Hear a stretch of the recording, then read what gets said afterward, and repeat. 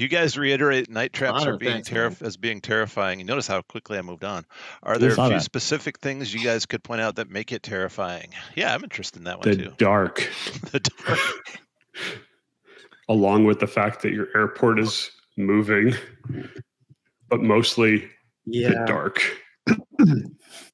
Well, like darker than Uh, dark. yes, Like, everything Wombat said is true. But Connor, the thing that really that really gets you is the illusions.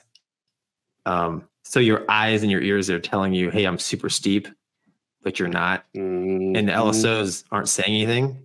So you keep it coming, even though you want to puke in your mask, and it's really hard to overcome that. And that's what makes it terrifying because every fiber in your body is telling you you're super steep, you're super low, you're you're way off parameters because we're visual creatures, backed up by what our inner ears uh, tell us. And that's what makes it terrifying because you basically sounds corny. You're you're confronting your fears and like, no, I'm on and on. And uh, trust your instruments. that's right? Instruments and, and LSO. So that's what makes it uh, terrifying. In addition to what Wombat said, everything there is valid too. well, and dude, Plus, if you, ever come up the short, you die. Yeah, there's that. You have the rest of your life to figure out how to land an aircraft carrier every Correct. time you do it, which is dope.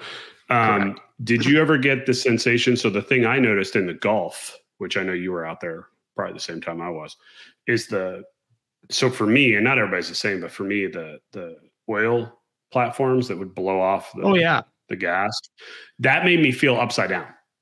For some reason Yep. in my brain, when I would see those, I was upside down. So like in my brain, I was seeing them blow down, and I'm like, oh. And then you'd look at your ADI or you know HUD and the Hornet, and you're like, that doesn't check out. I mean, well, hands down, like you just get really good at flying with vertigo. like really good.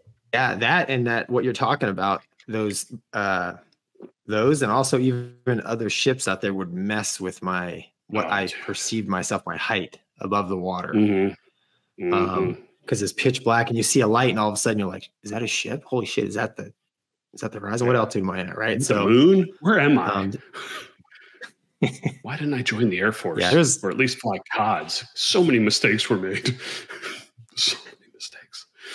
yeah connor that's i mean what what Yeah, we just talked about and the fact that you're you're uh it's not it's not uncommon to be spatially deed at least at some point during the approach